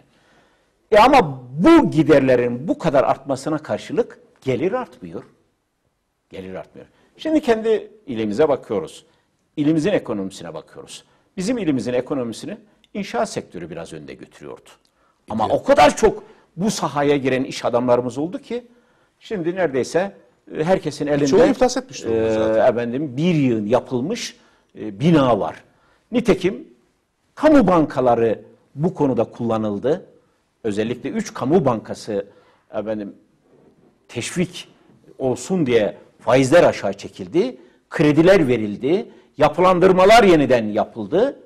E, şimdi en sonunda kalktılar e, enerji sektörüne verilen kredinin efendim Merkez Bankası'nda karşılığının ayrıldığı için onun gider yazılması gündeme geldi. efendim ona karşılık ayrılmasın. e, bankaların zararı karşı bankalar zararı karşılasın diye. Şimdi bu kamu bankaları bu yükün altından nasıl kalkacak? Bunu kullandık, kullandık, kullandık. Şimdi biliyorsunuz bir varlık fonu kuruldu. Evet. Varlık fonunun başındaki insan da en son biliyorsunuz Cumhurbaşkanı kendi geçti. Daha önce kendisi değildi. Şimdi bundan o kadar çok bahsedildi ki, bunun o kadar çok yaraya merhem olacağı söylenildi ki, ama gitti varlık fonu hiç ilgisi olmayan efendim gayrimenkul satın aldı. Büyük bir rakam ödeyerek gayrimenkul satın aldı. E, varlık fonksiyonunun e, şeyi bu mudur, fonksiyonu bu mudur? Şimdi kamu bankaları da aynı durumda.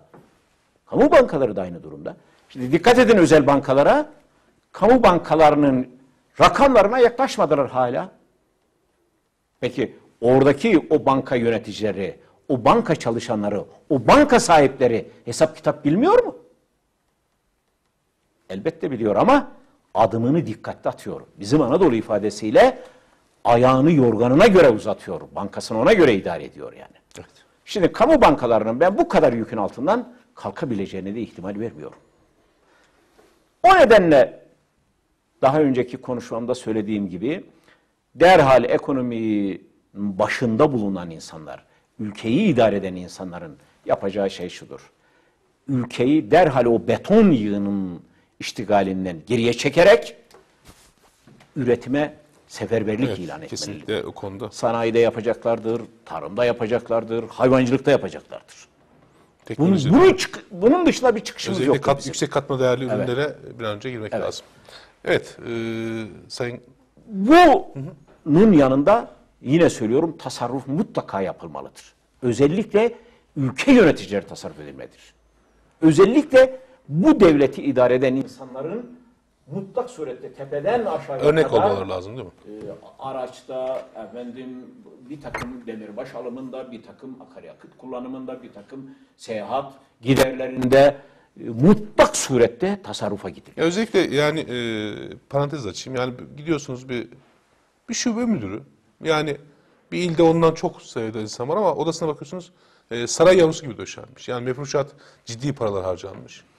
E, insan tabii üzülüyor bu tür şeyler. Yani devletimiz bu o zenginlik olgunluğuna henüz ulaşmadı. Yani gerçekten işte Almanya gibi e, cari fazlanız milyar dolarlardı, yüzlerce milyar dolardır da Zengin bakın harcayacak yeriniz bulursunuz. gerekir. Bülent Bey bakın şimdi 1 Ekim'den itibaren e-haciz başladı.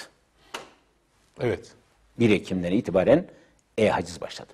Daha önce daha önce vergi ve sigorta borcu olan insanlara bir ışık sarı ışık yaktılar. Yapılandırma yapacağız dediler. Bunu duyan sıkıntıda olan esnafın bir kısmı da vergi ve sigorta borcunu ödemedi. Primini yatırmadı, vergisini ödemedi. Bu rakamlar tabi dağ gibi büyüdü. Şimdi e-haciz başlayınca gönderilen e-hacizler 3 onda 3 milyon e, kişiye git, ulaşmış. Evet şimdiden. 150 milyar devletin alacağı var. Evet devlet alacağını tahsil edecektir. O borçlu da onu ödeyecektir. Ama devletin yaptığı yanlışa bakın. Önce diyor ki yapılandırma yapacağız. Bunu yetkililer konuştular. Benim kendi mesleğim olduğu için biliyorum ben. Bir takım esnaf ve iş adamları bu yapılandırmayı bekledi. Sigortaya borcum var ödeyemiyorum dedi. Vergiye borcum var ödeyemiyorum ama bir yapılandırma çıkarsa bunu ödeyeceğim dedi. Vatandaşa bir ümit verildi. Aynen af gibi. Bakın affın beklentisi çok kötü olacak. Neticede af çıkmaz Onu ise zaten, çok sıkıntı tezahür edecektir. Ama 3 onda 3 milyon kişiye e-devletin hacizi nedir? Bakıyorsunuz ki sizin vergi dairesine 1000 lira borcunuz var. 10 bin liralık banka hesabınıza şak Bloke diye bloke konulmuştur. Gayrimenkulünüzün üzerine e, bloke konulmuştur. Bunu temizlemek, kurtarmak da çok büyük bir sıkıntı olacak. Yani Oturdukları yerden. Tik, tikeli ispatına kadar kürkü elden gidiyor değil mi? Türkiye'de maalesef. Evet e, Sayın Karadeniz. Yargı reformunu, e, şimdi özellikle yargı reformu derken şunu söyleyeyim. Yani bir bu e, KYK'lılarla ilgili kamuoyunda bir beklenti oluştu. Hatta bugün sanırım Ank- yarın itibariyle e, Ankara'da, İstanbul'da bir toplantılar olacaktı. Valilik Ankara'da. Valilik izin vermemiş. E, bir de af Sayın e, Kılıç'ın dediği gibi af bekleyenler var. Özellikle Milliyetçi Hareket Partisi'nin e, seçim öncesi bir e, açıklaması vardı e, genel seçimler öncesi. Kamuoyunda böyle bir beklenti oluştu. Yani af çıkacak. İşte belli bir sürenin altında olan insanlar e, Tabii Hapishanelerin bir dolması da- Milletvekili e, Sayın Devlet Bahçeli'yi aldı götürdü cezaevinde. Evet, Görüştürme, görüşmeler yaptırıldı. Evet. Ve ondan sonra bu konu gündeme geldi. Önce iktidar bizim gündemimizde böyle bir konu yoktu dedi Sayın Cumhurbaşkanı. Ama şimdi son açıklamalarında ama Sayın Cumhurbaşkanı hala o konuda e, yok, yok diyor. çalışılıyor. Şu şu şu şu e, işte suçların Yani şu, dışındakilere çünkü şöyle kamuoyu o konuda rahatsız oldu. Yani hırsızı mı, uyuşturucu ta, taci- tü- tüccarını mı, e, affedersiniz istismarcıyı mı, tecavüzcüyü mü bunlar mı serbest bırakacak gibi bir e, şey bir- oldu. Yani bir şekil kamuoyu rahatsız bir, olunca e, şey oluşturulmaya çalışılıyor. Halka o halkanın içerisine infaz yasasından faydalanacakları koyacaklar. İnfaz yasasından faydalanamayacak olanları da halkanın dışına işte 5 yıllık bu e, denet, serbest denetimle tabi olan suçları 6 yıla çıkarmak falan gibi bazı şeyler Evet, söylenen ama e, neler içeriyor Sayın Karadeniz? Yani madde madde konuşacak olursak. Şimdi af e, gündeme geldi. Bizim ülkemizde af kolay kolay çıkarılamaz. Anayasa değişikliğinden mi gerekiyor? Bu, bu en büyük e, sıkıntısı af sorununun sıkıntısı Zaten. başını. anayasamızın 10. maddesine göre ülkedeki herkes eşittir. Kanun önünde herkes eşittir. Kim herkes? Siz de eşitsiniz. Ben de Ali Bey de Apo da eşit. Kanun önünde. Ülkede af çıkarıldı. insanlar yararlandı. Anayasanın bu maddesi karşısında. Apo dışarıda kalsın diyemezsiniz. Ha der ve böyle bir yasada çıkarırsınız. Her nasılsa çıkarırsınız. Çıktıktan sonra HDP'liler de Anayasa Mahkemesi'ne gider. Eşitlik ilkesi nedeniyle APO'yu da aynı şekilde bundan yararlandırırlar. Neyle? Anayasa Mahkemesi kanalıyla. Geçmişte oldu bu. Örneği var. Erbakan'la e, Ecevit'in iktidar döneminde bu oldu. Şimdi Erbakan olayı sınırlı tuttu. Ecevit'e rağmen sınırlı tutunca yasa öyle çıktı ama çıktıktan sonra Ecevit Anayasa Mahkemesi'ne dava açtı. Eşitlik kuralına aykırı olduğundan denilerek kapsamı genişletildi. Hapishaneler boşaldı. Bugün e, af e, Bahçeli istedikten sonra niye çıkmayaydı? Bu kadar göbeğinden bağımlı iktidar niye Bahçeli'nin bu isteğini yerine getirmeyeydi? İşte bunlar konuşuldu, görüşüldü. Bu riskler karşısında bunu e, kimse izah edemezler. İmralı canisi diyoruz değil mi? Onun affını kim hazmeder? Hiç kimse hazmedemez ve bunu MHP en azından kendi tabanına izah edemez. CHP kendi tabanına izah edemez. İktidar kendi tabanına izah edemez. Tek hoşuna gidecek burada HDP'dir. Onun için affı bir kere gündemimizden o adadaki şahıs nedeniyle çıkarmamız gerekir diye düşünüyorum. Evet. Efendim şimdi e, epeyce konuştuk bu a- e, paketler üzerine. Ekonomik paket konuşuldu. Yargı paketi dedik. E, kıyısından köşesinden çokça konuştuk. Peki mevcut yargı paketi dediğimiz şey ne getiriyor? Yargı pake- paketi toplamda 39 maddeden oluşmasına rağmen bunun birkaç maddesi önemli. O nedenle de ben sadece birkaç maddesini e, sayın izleyicilerimizle paylaşmak isterim. Şimdi e, toplumu en çok rahatsız eden şeylerden bir tanesi ki kamuoyunda hep görürsünüz, duyarsınız. Televizyonlarda bunu e, rastlarsınız. Uzun tutukluluk süresi diye bir sorunumuz var. Evet. Kişiyi içeri kişiyi içeri alırsınız ve aldıktan sonra da aldıktan sonra hadi çıkar bakalım. Hasbel kader girmişse içeriye onun çıkması çok çok çok zordur. İşte bu sıkıntıları, bu e, problemleri biraz azaltabilmek, Avrupa Birliği'ne de biraz şirin gözükebilmek için bir standart getirileceği söyleniyor taslakta. Parlamentodan nasıl çıkar? Ne olur? Bilmiyorum. Sadece taslakla ilgili bilgi vermek istiyorum. Diyor ki eğer Ağır Ceza Mahkemesi'ne girmeyen suçlarda kovuşturma öncesi soruşturma sırasında kişi en fazla 6 ay, ağır cezalık ise suç en fazla bir sene yatar. Peki bir seneye geçerse Yani hüküm bağlanana kadar değil mi? Hüküm verilene kadar. Yani. Şimdi asıl e, bugünkü sorunlardan bir tanesi de şu. Onu ben şeyde pek göremedim. Sadece grup başkanının ifadesinde gördüm ama e, şeyin içerisinde göremedim paketin içinde. İçeriye alınmış kişi soruşturmaya başlatılmış ama iddianamesi aradan iki sene geçmiş. İki Hala sene hazırlanmamış. hala hazırlanmamış. Yani iddianamesi hazırlanmamış. Bu adamın daha iddianamesi hazırlanacak, yazılacak, e, duruşma günü verilecek ve yargılanacak. Bu ne zaman tahliye olacak? E, sonuçta beraat etti. 4 yıl, 4,5 yıl tutukluk süre olanlar var değil mi? Ergenekon balyoz süreci içerisinde. Ergenekon'da 7 sene yatanlar oldu. 7 Evet, sene doğru. içeride yatanlar oldu ve sonuçta beraat ettiler ve denildi ki kumpas. İşte buna bir e, çare düşünülüyor.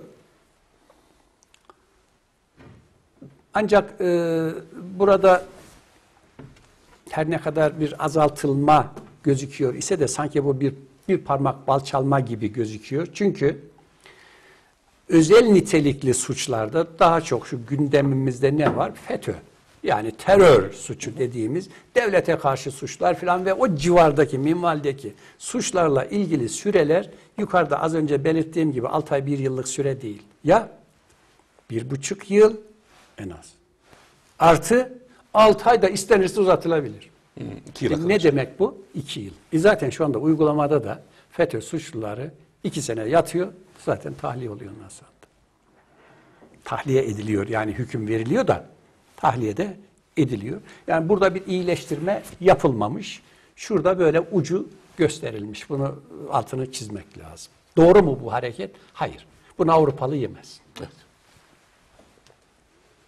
Bunu da e, e, yasa yayınlandıktan itibaren 3 ay sonra e, yürürlüğe girecek. Şimdi e, mevcut e, meşhur bir terör yasamız var. Bunun 7. maddesinde bir değişiklikten söz ediliyor. Deniliyor ki haber verme sınırını aşmayan veya eleştiri amacıyla yapılan düşünce açıklamalarının suç oluşturmayacağı. Şimdi bir şey anladınız mı burada? bir şey çağrıştırıyor. Şimdi e, eleştiriyi aşmayacak, efendim haber verme niteliği olacak. E bunu da aşmıyorsa burada suç yoktur. Şimdi bu bu haliyle kabul edilirse soru Can Dündar gelecek mi ülkemize? Bir haber yazdı televizyon gazetesinde. TCK'nın hangi ilgili. maddesine sokacaklar bilemiyoruz ama Bak şimdi e, bu, bu öneriliyor. o Paketi, da- paketi anlat dediniz. Paketi anlatıyorum şimdi. Bu böyle deniliyor. Parlamentodan nasıl geçer bu? Ha şimdi bu kabul edilirse bu güzel. Yani haber yazdın diye beni casus saymamalı yasa. Haberi duydum, yazdımsa o haber de doğruysa ben casusluktan mahkum olmamalıyım ya. Hiç hakkımda dava açılmamalı. Çünkü gazetecilik görevini yapmışım böyle olur ise. Ha şimdi bunu böyle uygulayacak hakimimiz var mı? Konjonktür buna uygun mu? Hakim karar verirken şöyle bakacak. Buna hükümet nasıl bakıyor? Başsavcının tavrı nedir? Bütün bunlar hala hala diyorum. Burada kararı verirken uygulanacak gündeme gelecek ise bunu ister yasaya koy ister koyma hakimi bağımsız kılmamışsanız, yargı bağımsızlığını sağlamamışsanız şu yasa güzel bir yasa olur, maddesi olur, uygulaması olur mu? Çok şüpheliyim. Pardon çok özür dilerim. Ee, Amerika'da mesela başkanlık sistemi olan bir ülkede savcı ile avukat aynı e, seviyedeler. Yani e, hiyerarşik olarak ikisi de aynı statüde. E, savcı ve avukat. E, Türkiye'de böyle bir sıkıntı var. Yani savcı e, bir taraf yani bir, e, bir tarafın savunanı sonuçta avukat. E, sonuçta kendi müştekisini ya da müvekkilini savunuyor. E, savcı da bir hakkı savunuyor. Yani e, aynı ama aynı seviyede olmaları gerekiyor diye düşünüyorum. Yani yargıda bir e, bağımsızlık olacaksa ya da yargının en azından özgürlüğü if- e, ifade şey Bülent Bey, olacaksa şimdi Aynı seviyede olması gerekmez mi? Metin Bey izah ederken söyleyecek yani. Savcı sanığın hem lehindeki delilleri toplar hem aleyhindeki delilleri toplar. Ama Türkiye'deki uygulamada ben bugüne kadar savcıların hiç lehe delil topladığını görmedim de duymadım da. E, bu- Katılır mısınız buna Sayın Karadeniz? Şimdi Yani avukatla savcının Şimdi bu bir sorun. Ne zamandan beri sorun? 41. meslek yılımı yaşıyorum. Ben 41 yıldır bunu sorun olarak yaşadım. Ve benden önce de 41'ler var. Yasada denilir ki ha, şey, savcıyla avukat aynı seviyededir. Yargı üç ayaklıdır. Birisi hakim, savunma makamı avukat, İddia iddia, makamı. makamı da savcıdır. Ama e, iddiayla savunma eşittir denilir. Ama e, avukat duruşmaya girince hakimin e, lütfuyla yerine oturur. Ama savcı yukarıda hakimle beraber e, kürsüde oturur. Şimdi uygulamayla yani bu anlatılanla az önce söylediğimle uygulama birbirini tutuyor mu? Denk mi? Değil. Ee, geçmişte rahmetli oldu Profesör Faruk Erem duruşmada savcının yargı makamında olan Erem'e karşı bir tavrı, hoş olmayan bir tavrı olunca der ki bir marangoz hatasıyla sen orada oturuyorsun. Ben buradayım, sen de burada olmalısın. Bu marangoz hatası düzeltilmelidir der. Yani bu bir ifade şeklidir ama bir gerçektir. Ee, savcı ne yazık ki devletin bir e, memuru konumunda Amerika'yı e, getirdin. Amerika'da E, bizdeki avukat gibi savcılık yok. Savcılık özerk bir kuruluş. Baro özerk bir kuruluş. Hakime hem e, şimdi orada savcı delilleri istediği gibi araştırır, bulur, getirir, mahkemeye yansıtır iddia için. Ama avukat da aynı yetkiye sahiptir orada. Aynı delilleri, aynı yetkiyle temin eder, hakimin önüne getirir, aynı yetkilere sahiptir ve adil bir sonuç alırlar genel olarak. Ama burada her ne kadar e, pakette de bir iki cümle söyleniyor ise de avukatın öyle delil toplayayım, tapuya gideyim, getir şu defteri, açayım bakayım, işte adli tıbba gideyim, ya bu raporu nasıl öyle hazırlamışsınız ya da bir de ben bakayım öyleye veya bir başka makamda getirin bakalım şu delilleri elimle bir suretini alacağım. Sizi devlet dairesine sokmazlar bile. Giremezsiniz bile. Ha, dediğiniz doğru, evet bir sorundur. Ya en azından yargının Hayatın e, yani gerçeğidir. e, daha biraz daha bir yani bir, bir, bir çentik daha yükselmesi için bir adım diye düşünüyorum ama. Üç ayağın, devletin üç erkinin birbirinden bağımsız Birbirinden olması bağımsız lazım. olması Başta söylediğimizi tekrar edelim ki o sorunuz Evet. cevap bulsun. Evet.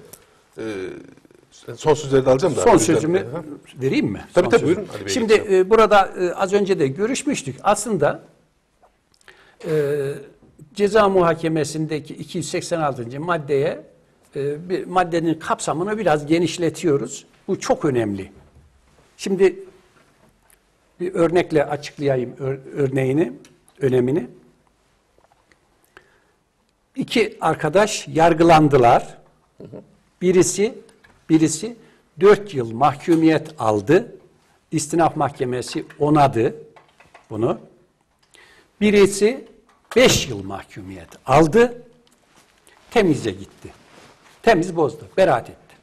Ama İslam Mahkemesi'ne giden değil mi? Temizlik- O mahkum. Ama şimdi sanırım bu düzenleme İşte bunu bu bunu düzeltiyor. Düzeltmek için de düzeltmek için de düşünce suçları için bir özellik geliyor. Onların mutlak surette temize de gidebilmesinin önünü Önü açıyor. Evet. Ama bundan önce açamıyordu. Şimdi buradaki özellik nedir? Eğer bu böyle olur ise Demirtaş da yaralanacak demektir.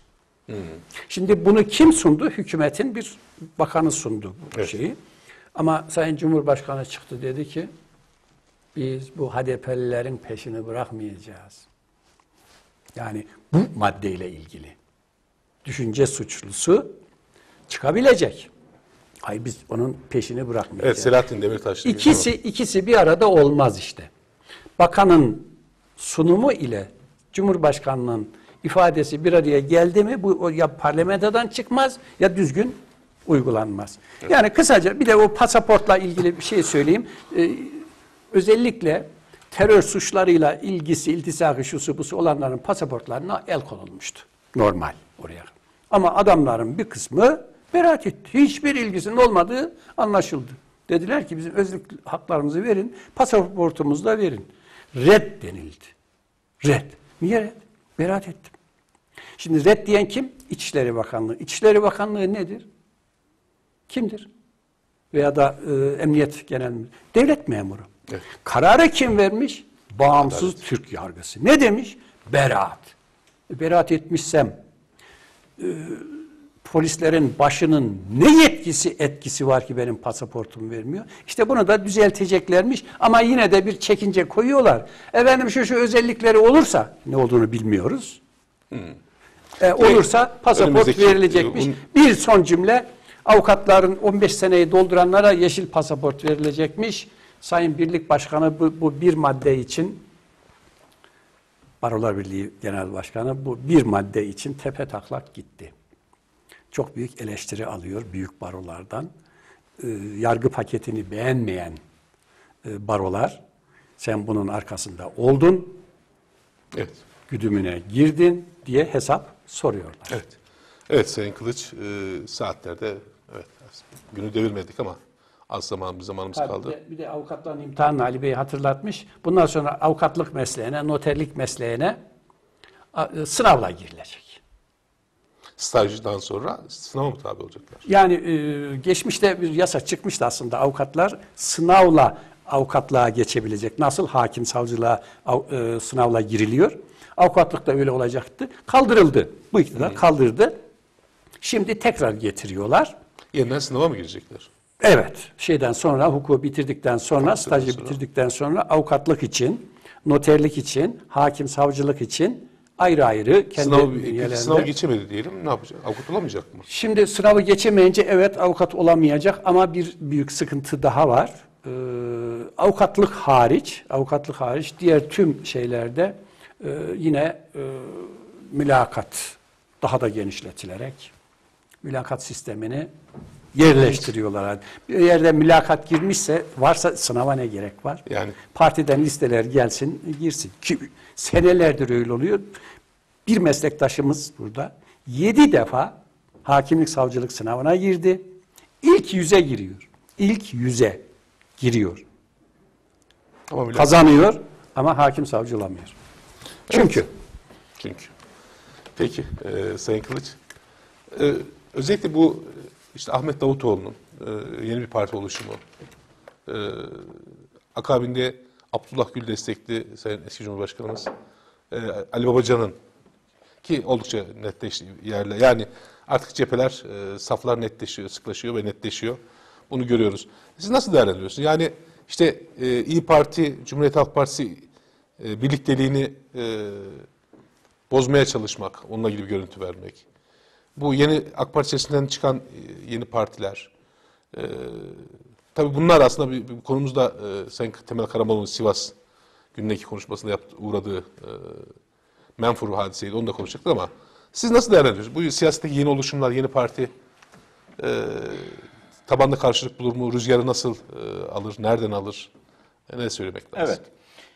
Şimdi bir cümle bu avukatların imtihanıyla ilgili e, şey söyleyeyim. Çünkü bizim mesleğimiz de öyle. 3568 sayılı kanunda hangi okulu bitirenler mali müşavir olabilir e, yazmış ama imtihan şartını koymuş. Staja başlayabilmesi için yapılan bir imtihanı kazanacaksınız. Akabinde stajı tamamlayacaksınız. Stajın bitiminde yanlış aklımda kalmadıysa 8 dersten yeniden imtihana gireceksiniz ve ondan sonra ruhsatınızı alabileceksiniz. Şunun için söyledim bunu. Elbette bu bir artı ve eksi midir? E, Artı ve eksidir doğru. Ama bir mesleğe giriş ne kadar zor olursa o kadar da şey oluyor.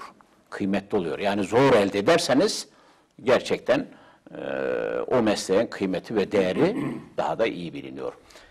Ben onu kendi mesleğimden biliyorum. Şu anda gerçekten zor bir imtihan dönemi geçiriyor. Mali müşavirliğe girecek olanlar. iki yıl stajdan sonra yeniden 10 dersten imtihana giriyorlar ki bunu iki yılda vermek zorunda kalıyorlar. E, Bu iyi bir durum oluyor. Şimdi yeni partiye gelince elbette oldukça gündemde Sayın Davutoğlu'yla Sayın Ali Babacan'ın e, kuracağı siyasi partiler. Kamuoyu araştırmacıları da son derece bu partilerin ne oy alabileceğiyle ilgili çalışmaları bayağı sıklaştırdılar. Ben biraz takip ediyorum. Ee, efendim nedir yani bunlar nasıl oy alırlar?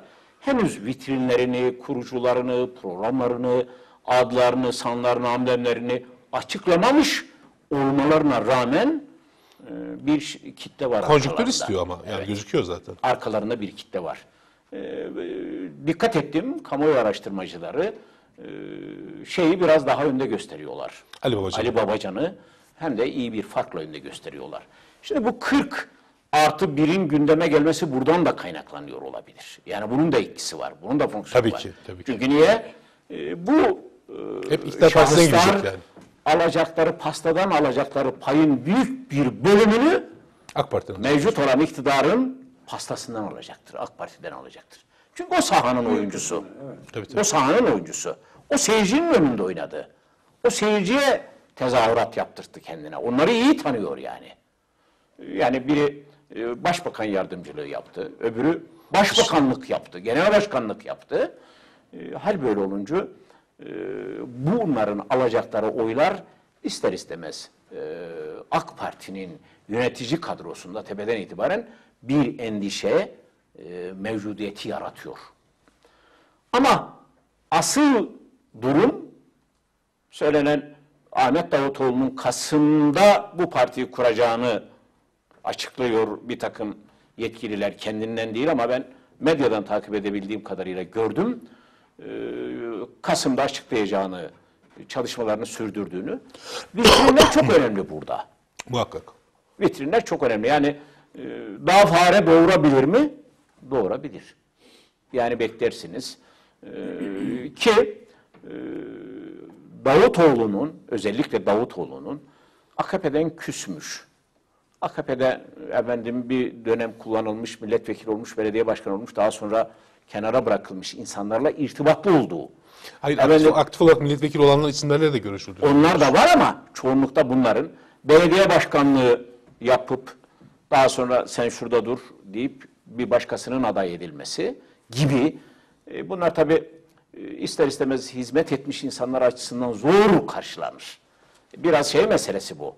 E, Adam belediye başkanlığı yapmış, adam milletvekilliği yapmış E, ama seçime girse, ön seçime girse kaybetse dersiniz ki adama kardeşim girdin, seçimi kaybettin.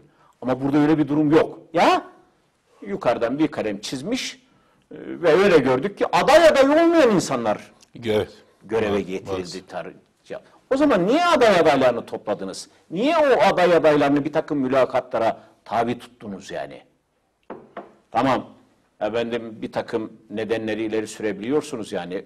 Ee, biz sebepler de ileri sürebiliyorsunuz. Metal yorgunluğu da diyebiliyorsunuz, diyebilirsiniz. Bu da en tabii hakkınız ama bu itilen kenardaki adamların tamamı bu metal yorgunluğunun içerisindeler mi? Yani bir Davutoğlu'nun kenara itilmesi gibi. Bu tip adamlarla irtibat kuruyorlar. Tabii bu insanların birçoğu kamuoyunda beğenilen insanlar da vardı. Eleştirilenler de vardı tabii ki. Efendim yani Mehmet Şimşek beğeniyordu ama Hüseyin Çelik pek beğenilmiyordu. beğenilmiyordu. Doğru. Efendim İdris Naim beğenilmiyordu. Yani bunun gibi isimler olabilir. Daha yerel bazda da bu isimler oldukça fazla. Kendi elimizde de biliyoruz. Şimdi düşünün geçmişte il başkanlığı yapmış arkadaşlarımızın aşağı yukarı tamamı burada e, il genel meclisi üyesi oldular yani. Evet. Dışarıda aşağı yukarı kimse kalmadı. Kalmadı. İl başkanlığı yapan arkadaşların tamamı e, orada görevlendirildi. Diğer illerde böyle mi acaba? Yani bunlara bir bakmak lazım. Bunları değerlendirmek lazım. O nedenle bu kurulacak partilerin iktidar partisinden ne alıp götürecekleri özellikle vitrinlerin açıklanmasından sonra, programlarının açıklanmasından sonra e, daha da belirgin hale alacaktır. Şimdi şöyle bir değerlendirme yapalım. İşin doğrusu AK Parti'nin ilk yılları Türk toplumunu son derece hoşnut eden icraatlar olmuştu. İyi faaliyetler olmuştu. Yani ilk dönemlerinde. Bu geçmişte ANAP döneminde de böyleydi. Ama sonradan e, bir bakıyorsunuz ki bir gevşeme, bir laşkalık. Partiye değil mi? Efendim? Farklı noktaların etkisi Evet. e, çok çabuk oluyor. E, bir takım farklı siyasi görüşlere mensup insanlar da vardı. Yani AK Parti'nin ilk şeyine Tabii, tabii. bakınız, kabinesine bakınız. Özal'ın ilk dört vardı. benziyordu değil mi? Evet. Sonradan bunlar elene, elene, elene kendi marjinalleşti. insanlara geldi. Evet, doğru. Hatta şimdiki kabineye bakın. Yani orada adamların bakanlıklar açıklandığı zaman Türk toplumunun büyük bir kısmı o isimlerini o zaman duyduk. Evet. Büyük bir kısmını yani. Ee, bilinmiyordu nereden geldiğini, kimden geldi araştırıyorsun. İşte e, yakınında çalışmış, e, efendim oğlunun yakın olmuş, kızının yakın olmuş, karısının yakın olmuş gibi bir durum var. E Şimdi toplum bundan ziyade diyor ki beyninde ne var, bana ne verecek? Bekliyor insanlar. Enflasyon nasıl düşecek? Pahalılık nasıl önlenecek? Ben onu bekliyorum diyor. Evet. Ben bir e, kalkınmış ülke insanın ferdi nasıl olacağım, ne zaman olacağım? Yani işte e, bir emekli sıkıntısı var Türkiye'de. Bakın her gün gündeme geliyor. E bu insanları geçmişte iktidarlar e, bunların aklına düşürdü bu işi. Size siyasi partiler akıllarına düşürdü. Yani yaşa takılan emeklileri adamlar tamam söyleniyordu bilmem ne yapılıyordu ama bu kadar gündemde değildi. Tamam iktidar olunca çözeceğiz sizin e, yaşa takılan emekleri denildi. Geçmişte bunlar yer yer çözüldü. Özal döneminde kademe kademe alındı. Demirel döneminde çözüldü, değil Evet, mi? Demirel döneminde çözüldü. Orada başladı. Bu tür problemler nasıl çözülecek? Toplum bunu bekliyor. O siyasi partilerin fonksiyonu da etkisi de ancak o zaman belli olur diye düşünüyorum. Evet sevgili izleyiciler e, çok teşekkür ediyoruz iki değer, e, değerli konuma e, Sayın Ali Kılıç ve Sayın Metin Karadeniz'e. Günü devirdik evet 5 Ekim günü itibariyle 3 saat itibariyle. Önümüzdeki hafta başka programda başka konu ve konuklarla karşınızda olmak dileğiyle. Hoşçakalın diyorum iyi geceler efendim.